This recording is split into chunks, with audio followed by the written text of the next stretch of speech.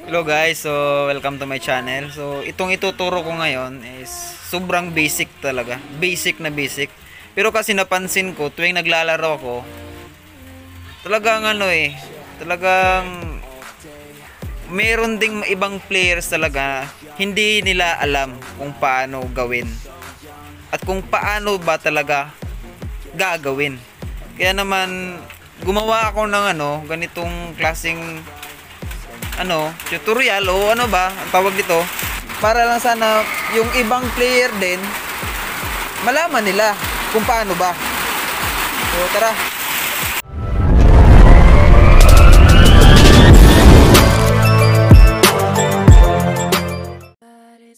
So flex ko lang guys no. Kunti na lang talaga. Sana pala rin tayo makapasok at sa mga nanonood ng mga video ko, maraming maraming salamat po. Ah, hindi po kami magagaling ah. Yung kawan B1 ko po dito is yung aking mahal na asawa. So shout out kay Sheila May Gaspar. Ang content natin ngayon is paano ba i-counter yung mga hero na malalakas yung lifesteal o lifestealer. Tara, game. G, G, G.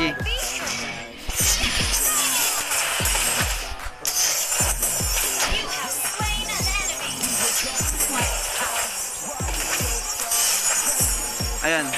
So, madalas si Ban, si Yuzong, si Ismi, o yung lahat yung mga hero na malalakas yung si ah, malalakas yung lifesteal. Pero alam alam niyo ba na sobrang dali nitong ano, i-counter? Paano ba?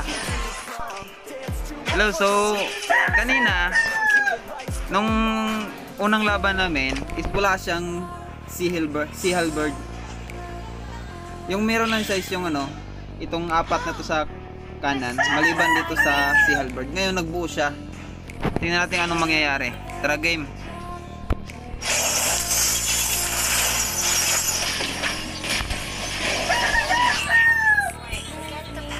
Nakita nyo kung ano yung nangyari? Hindi ako nakapag ano, hindi ako nakapag HP regen o hindi ako nakapag nakaw ng shield kay 1-1. Dahil meron siyang counter build sa akin na si Halberd. So ibig sabihin nun, lahat ng lifestealer o lahat ng hero na umaasa sa lifesteal is yung pang counter lang naman dyan sana, simpleng simple lang. Si Halberd or itong Necklace of Durance. Ganun lang, kung yung role mo sa team nyo is support, mage, or fighter, kung mage ka or support, build ka ng build ka muna ng ano, ng Necklace of Durance sa early game para yung ano mga lifestealer nga nakalaban hindi makapag-burst sa, um, sa ano sa early game. Third and final ano namin, battle namin ni 1-1. So yung item ko ngayon is meron na akong concentrated energy. So talagang lifesteal na lifesteal na tayo, di ba? Yung sa kanya naman is yung ganun pa rin, same pa rin. So, susubukan ko siyang patayin, no? Ima-micro ko tong 1-1. Kaso wala tayong blow kasing ninakawan niya nga tayo. Tara, no? Tara, game. Game.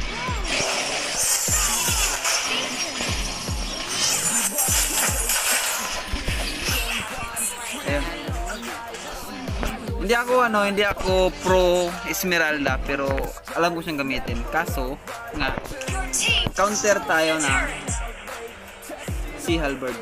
So ganun kadali i-micro siya no, si Esmeralda. 1-1 yung kalaban, pinili akong kalaban kasi madaling patayin. Pero na ma-micro niya tayo kasi nga nag-counter item siya. So tandaan nyo lang, pag meron ng kalabang ano, Yuzong, Khalid, Dairot, ah sino ba? Alucard, Esmeralda, Alice. Tandaan nyo lang, i-build nyo lang ah, yung ano, first na item kung support ka, mage or fighter. Yung i-build nyo muna is yung either necklace of Durance or itong si Halberd. Kasi yung pa- passive niyang ano, si Halberd is itong unique passive of life drain basic attack reduces HP regen by 50% protection. Yung 3 seconds na yan, malaking bagay na yan. Pag nasa team fight ka, mamamicro mo na yung mga life stealer na kalaban dyan. Kung sa ano ka naman, necklace Durance, ganun pa din. Ah, ano, reduces the regen effect of enemies with skill damage by 50% for 3 seconds, ganun pa din. So 3 seconds pero napakalaking, napakalaking bagay niyan.